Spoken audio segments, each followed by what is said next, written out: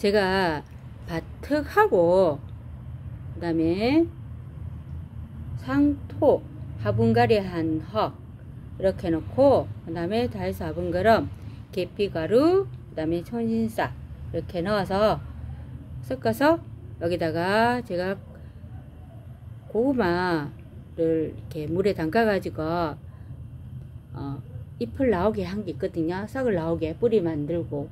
그거를 넣어서 고구마가 진짜 자라는지 안 자라는지 콘텐츠 할 거예요. 한번 봐주세요.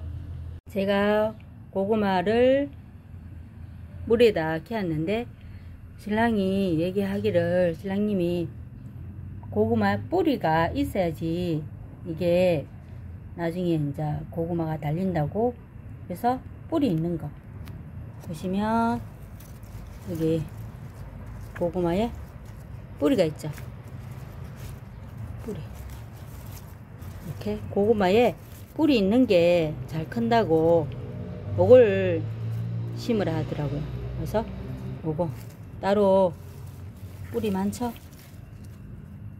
이렇게 심을 겁니다. 요렇게 심어줄 거라 해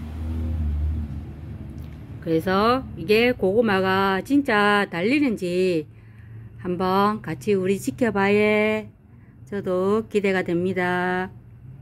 허 덮었어요 이제 물만 듬뿍 주면 돼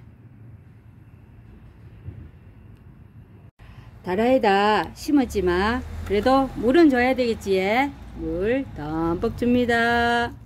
잘 자라라. 그래서 컨텐츠 성공해라. 참. 유튜브도 하이. 이제 어? 오만 거 다 해보네 실험해보네 그지? 진짜 농사 많이 지으시는 분들 웃겠어요. 그리고 이 고구마가 아니 이게 좀 달라요 색이 어. 호박고구마하고 일반 단고구마하고 두 가지 종류거든요. 그러니까 아, 순 색깔도 다르네요. 좀 달라요 순 색깔이. 아 예민하게 보신 분들은 티가 날 거래. 잎하고 잎 줄기가 조금 다른 것 같아요